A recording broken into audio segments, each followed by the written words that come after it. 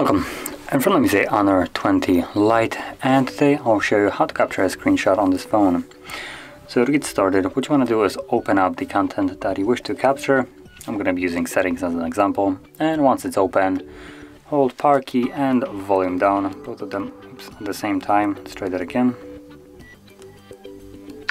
You will have this animation. Gives you a quick guide, so up to share, down to scroll, and swipe it away to hide it. Now, so swiping it down will make it so it is uh, give us the ability to make it a scrollable. Now here it is uh, unfortunately uh, kind of capped so it basically scrolls uh, till you touch the screen um, and at the moment you touch it it just kind of stops and saves it as you can see. So if you want to capture a longer screenshot just let it kind of run through.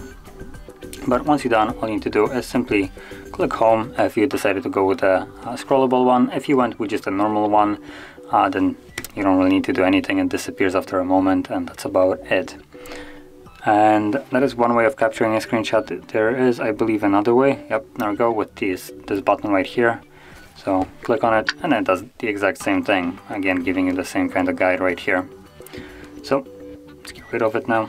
And once you're done capturing a screenshot uh, all of them can be found in your photo gallery, so they will be visible in the photos right here, uh, smack in the middle with basically every other photo, or more organized uh, in albums under screenshots folder, which you can see it right over here. This is actually a screen recording, so don't don't mind that. But yeah, there are the two of them. So that is how you capture a screenshot on this phone and if you found this very helpful, don't forget to hit like, subscribe and thanks for watching.